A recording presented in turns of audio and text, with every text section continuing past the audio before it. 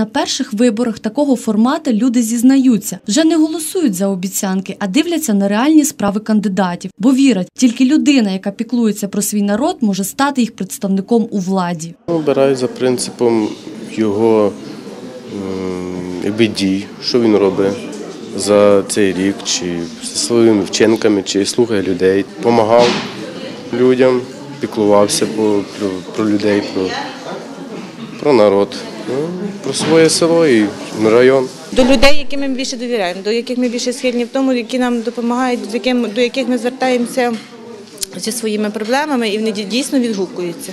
Бо що нам все хліб дає, зерно дає, муку дає, цукер дає, дороги прогортає. На дільницю прийшло менше половини мешканців села. На думку голови виборчої комісії, така явка пов'язана з поганими погодними умовами та байдужістю молодого покоління. Порушення також були, але незначні. Іноді ж самі голосуючі створювали для себе проблеми, забуваючи паспорти вдома. Вибори загалом проходять як на даний момент, тут ну.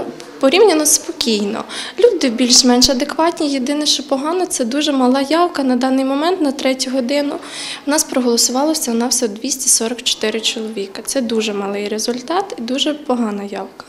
Загалом сьогодні вибори проходять більш-менш без порушень, таких, що масштабних порушень у нас немає. Можливо, людина перейшла без паспорта, проситься там проголосувати. Звісно, ми це забороняємо. Відбувалися перші вибори в чотирьох об'єднаних тергромадах Хмельницької області. Загальна явка на дільницях склала понад 50%. За депутатські мандати боролися 381 особа, а на голову тергромади претендував 21 кандидат. Протягом дня спостерігачі опора зафіксували незначні порушення на виборчих дільницях. А от люди із села Нова Гута взагалі проігнорували вибори, бо не хочуть об'єднуватися з Чемеровецькою ОТГ. Оксана Медведєва, Ігор Павлюк, новини телеканал TV7+.